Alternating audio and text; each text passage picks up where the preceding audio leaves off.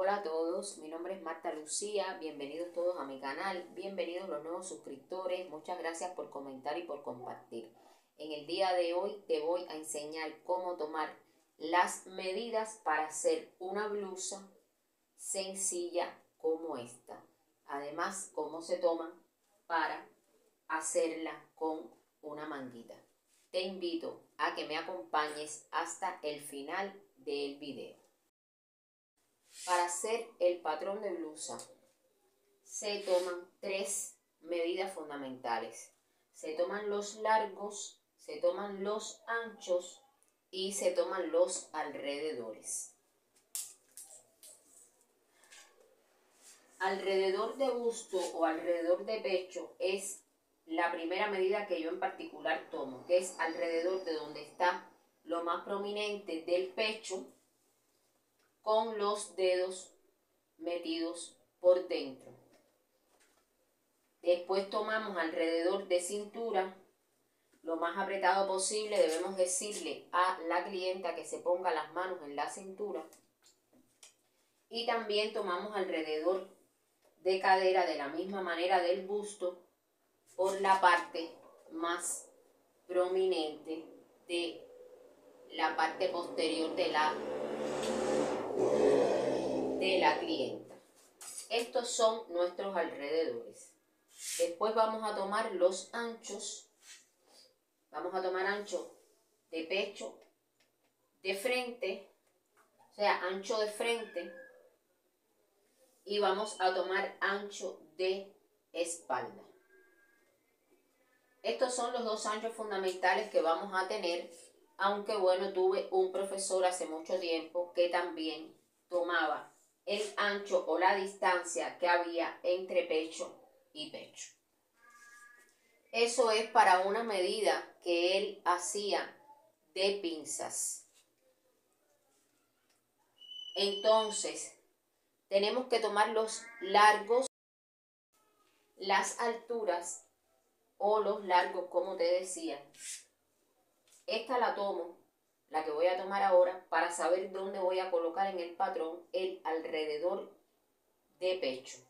El alrededor de pecho, alrededor de busto, y tomo la altura de busto o la altura de pecho. El largo detalle para saber dónde voy a colocar el alrededor de cintura, tomo el largo detalle de frente y también tengo que tomar el largo detalle de espalda. Para saber dónde voy a colocar el alrededor de cadera, pues voy a tomar la altura de cadera que es desde la cintura. Recuerda que la clienta debe tener las manos puestas en la cintura hasta la parte igual más prominente posterior de la persona a la que se le está tomando las medidas. Y por supuesto debemos tomar el largo de la blusa que nosotros vamos a confeccionar. Además de eso, tenemos que tomar el hombro de esta manera, desde donde empieza aquí la unión de cuello y hombro hasta la parte más prominente del hombro, aunque después nosotros lo rectifiquemos en el patrón y lo rectifiquemos en la persona o en uno mismo si queremos que esté más afuera el hombro o más caído como en esta. Y además de eso, tomamos la sisa yo la tomo a todo alrededor de lo que es el hombro. Bueno, este maniquí está sin, blue, sin brazos y bueno, tomamos este alrededor. Otras personas alrededor del el hombro toman esta medida como sisa, que es la parte más ancha de el brazo. Si vamos a hacer una manga, pues debemos tomar desde donde empiece el hombro hasta el largo de la manga. Si es manga, manga corta, por aquí, y si es manga larga, pues debemos doblar doblar el brazo y entonces esta sería la parte de la manga larga. O sea, el brazo debemos doblarlo así. Ya eso es cuando es una manga larga. Y el ancho de manga, pues ese es el que para mí corresponde a lo que otras personas ponen como sisa.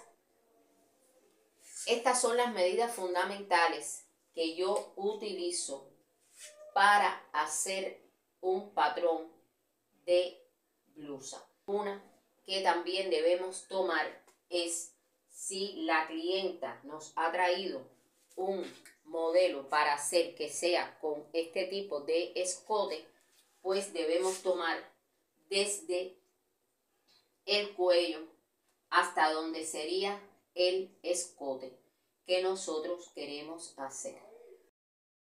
Quiero puntualizarte antes de terminar que estos tres tipos de medidas que te dije desde el principio, los largos, los anchos y los alrededores, a la hora de llevarlos al patrón,